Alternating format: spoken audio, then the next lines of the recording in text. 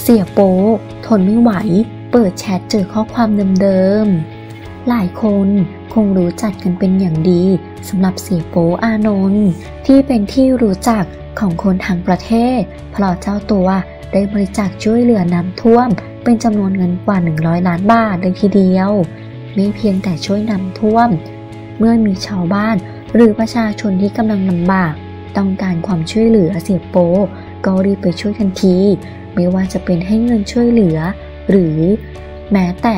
ช่วยสมทบทุนสร้างบ้าน เรียกได้ว่าเห็นใครลำบากแจกอย่างเดียว ล่าสุดเสียโปอานนท์ถึงกับทนไม่ไหว เมื่อเปิดแชทมามีแต่คนขอเงิน โดยเจ้าตัวได้โพสต์ข้อความระบุว่าเข้ามาแชทมีแต่ขอตังค์ขอสามีพวกคุณเองสิครับ